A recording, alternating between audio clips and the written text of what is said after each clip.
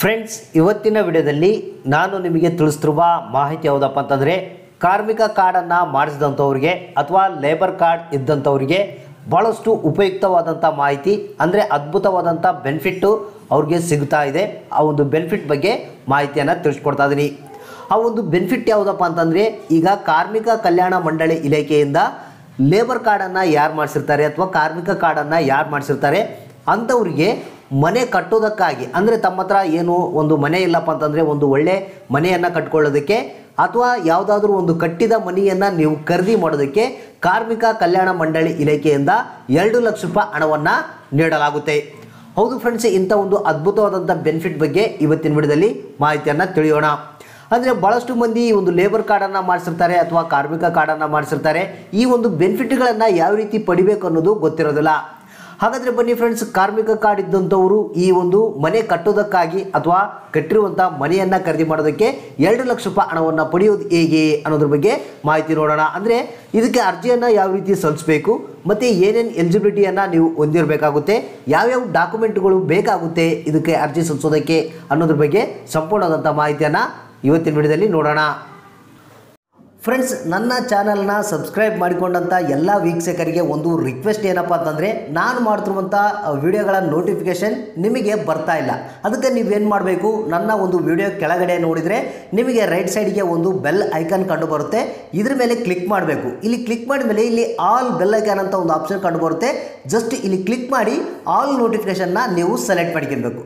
ಈ ರೀತಿ ಮಾಡಿದರೆ ನಾವು ಮಾಡುವಂಥ ಎಲ್ಲ ವಿಡಿಯೋಗಳ ನೋಟಿಫಿಕೇಷನ್ ನಿಮ್ಮ ಮೊಬೈಲಿಗೆ ಬರುತ್ತೆ. ಅಲ್ಲಿಂದ ನೀವು ನನ್ನ ವಿಡಿಯೋಗಳನ್ನು ನೋಡ್ಬೋದು. ಇದು ಒಂದು ರಿಕ್ವೆಸ್ಟ್ ಫ್ರೆಂಡ್ಸ್ ನಿಮ್ಮ ಹತ್ರ.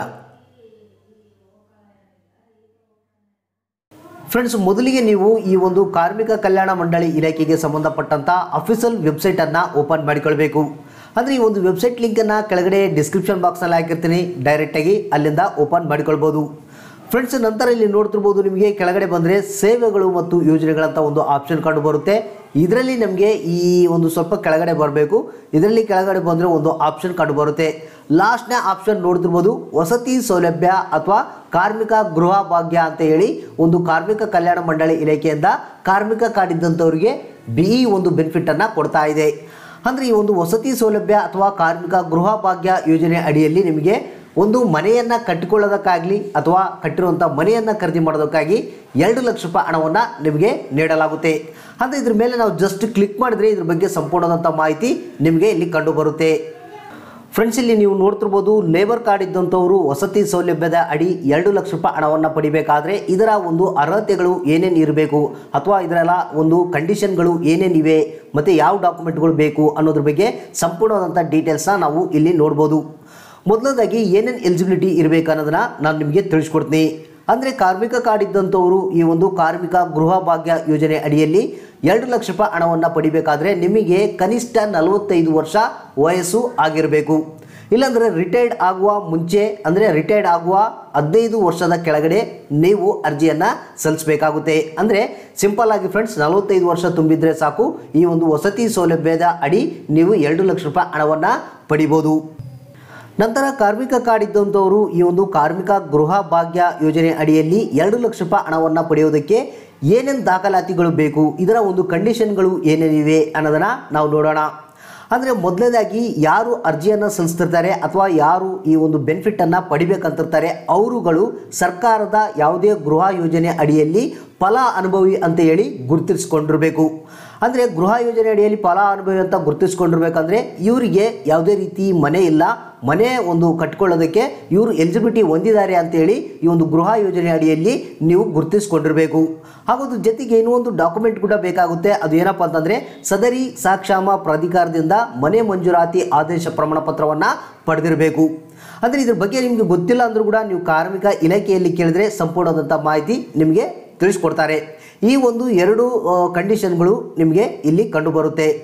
ಇನ್ನು ಅದ್ರ ಜೊತೆಗೆ ನೀವು ಏನು ಅರ್ಜಿಯನ್ನು ಸಲ್ಲಿಸ್ತಿರಲ್ಲ, ಅರ್ಜಿಯನ್ನು ಸಲ್ಲಿಸಿದ ಮೇಲೆ ಈ ಒಂದು ಕಾರ್ಮಿಕ ಕಲ್ಯಾಣ ಮಂಡಳಿಯ ಕಾರ್ಯದರ್ಶಿಗಳೇನಿರ್ತಾರೆ, ಅವರು ವೆರಿಫೈ ಮಾಡಲಾಗುತ್ತೆ. ಕರೆಕ್ಟಾಗಿತ್ತಪ್ಪ ಅಂತಂದರೆ ಹಣವನ್ನು ಸ್ಯಾಂಕ್ಷನ್ ಮಾಡ್ತಾರೆ. ಇಲ್ಲಾಂದರೆ ನಿಮ್ಮ ಅರ್ಜಿಯನ್ನು ರಿಜೆಕ್ಟ್ ಮಾಡುವಂಥ ಸಾಧ್ಯತೆ ಕೂಡ ಇರುತ್ತೆ. ಅಂದರೆ ಅಂತಿಮ ತೀರ್ಮಾನ ಏನಿರುತ್ತೆ, ಮಂಡಳಿಯ ಕಾರ್ಯದರ್ಶಿದು ಆಗಿರುತ್ತೆ. ನಂತರ ನಿಮಗೆ ಒಂದು ವೇಳೆ ನೀವು ಹಾಕಿದಂಥ ಅರ್ಜಿ ಏನಿದೆ, ಅದು ಅಪ್ರೂವಲ್ ಆಯ್ತಪ್ಪ ಕರೆಕ್ಟ್ ಇದೆ, ಅಪ್ರೂವಲ್ ಆಯಿತು ಅಂತಂದರೆ ಆವಾಗ ನಿಮಗೆ ಎರಡು ಲಕ್ಷ ರೂಪಾಯಿ ಹಣವನ್ನು ಯಾವ ರೀತಿ ಕೊಡ್ತಾರಂದರೆ ಕಾರ್ಮಿಕ ಕಲ್ಯಾಣ ಮಂಡಳಿ ಏನಿರುತ್ತೆ, ಅದು ಮೊದಲಿಗೆ ಈ ಒಂದು ಗೃಹ ಮಂಜೂರಾತಿ ಪ್ರಾಧಿಕಾರಕ್ಕೆ ಎರಡು ಎರಡು ಲಕ್ಷ ರೂಪಾಯಿ ಹಣವನ್ನು ಬಿಡುಗಡೆ ಮಾಡುತ್ತೆ. ಆನಂತರ ಈ ಒಂದು ಗೃಹ ಮಂಜೂರಾತಿ ಪ್ರಾಧಿಕಾರ ಏನಿರುತ್ತೆ, ಆ ಒಂದು ಎರಡು ಲಕ್ಷ ರೂಪಾಯಿ ಹಣವನ್ನು ಯಾರು ಅರ್ಜಿಯನ್ನು ಸಲ್ಲಿಸಿರ್ತಾರಲ್ಲ, ಅವರ ಅಕೌಂಟಿಗೆ ನೇರವಾಗಿ ಟ್ರಾನ್ಸ್ಫರ್ ಮಾಡುತ್ತೆ. ಹೌದು ಫ್ರೆಂಡ್ಸ್ ಅಪ್ರೂವಲ್ ಆಯ್ತಪ್ಪ ಅಂತಂದರೆ ಈ ರೀತಿಯಾಗಿ ನೀವು ಹಣವನ್ನು ಪಡಿಬೋದು. ನಂತರ ಈ ಒಂದು ಹಣವನ್ನು ಪಡೆದ ಮೇಲೆ, ಅಂದರೆ ಎರಡು ಲಕ್ಷ ರೂಪಾಯಿ ನಿಮಗೆ ಸಿಕ್ಕ ಮೇಲೆ ಇದನ್ನು ಹಣವನ್ನು ನೀವು ಯಾವ ರೀತಿ ಮರುಪಾವತಿ ಮಾಡಬೇಕಂದ್ರೆ ಇಲ್ಲಿ ಕ್ಲಿಯರ್ ಆಗಿ ತಿಳಿಸಲಾಗಿದೆ. ಏನಂದರೆ ನಿಮಗೆ ಇಪ್ಪತ್ತು ವರ್ಷ ಟೈಮ್ ಕೊಟ್ಟಿರ್ತಾರೆ. ಇಪ್ಪತ್ತು ವರ್ಷ ಅಂತಂದರೆ ನೀವು ಪ್ರತಿ ವರ್ಷ ಕಂತುಗಳಿರುತ್ತೆ ಅಂದರೆ ಇಪ್ಪತ್ತು ಕಂತುಗಳಲ್ಲಿ ನೀವು ಹಣವನ್ನು ಮರುಪಾವತಿ ಮಾಡಬೇಕು. ಇಪ್ಪತ್ತು ವರ್ಷದಲ್ಲಿ ಅಂದರೆ ವರ್ಷಕ್ಕೊಂದ್ಸಲ ಕಂತನ್ನು ಕಟ್ಟಬೇಕು ನೀವು. ಈ ರೀತಿಯಾಗಿ ಹಣವನ್ನು ನೀವು ಎರಡು ಲಕ್ಷ ರೂಪಾಯಿ ಹಣವನ್ನು ಮರುಪಾವತಿ ಮಾಡೋದಕ್ಕೆ ಕಾಲ ಅವಕಾಶವನ್ನು ಕೊಟ್ಟಿರ್ತಾರೆ.